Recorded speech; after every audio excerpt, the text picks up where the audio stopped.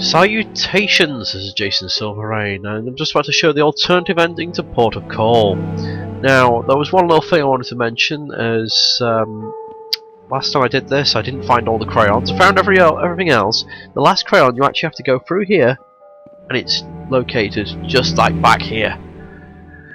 Um, but it doesn't appear until like you start seeing ghosts move around the ship and stuff. So you know, pick it up after you've done the third person. If you're going to play through this, I mean, granted, I've just played through the entire game, so I can imagine no one else wants to download and go through all this. The other thing uh, I should mention is when you talk to the captain in there, he, you can actually ask him questions, and I just kind of clicked on through, assuming it'd be like, what do I do next type questions. No, he actually does have some decent things you can ask him. Expands the game a little bit more. So now we're going to choose death.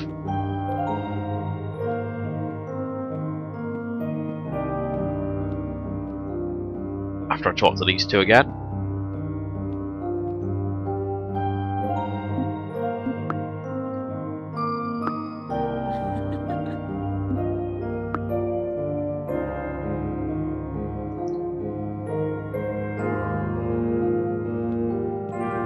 Yep, and now we talk to the ferryman.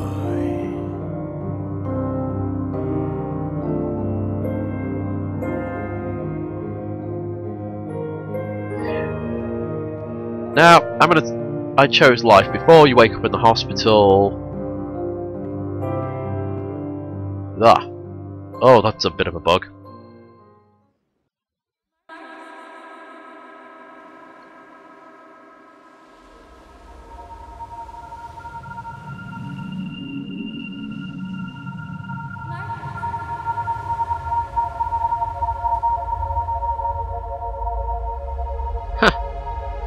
Bit of an irony. You go to the other side. You get a white screen. You go back to life, you get a black screen.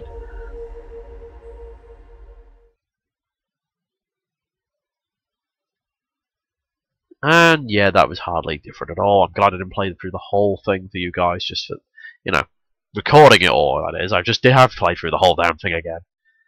Oh well, well this one's all done for me. I've got all the achievements, I've seen all the endings, pretty much figured out the story like in the first two minutes, and it didn't crash this time at the end.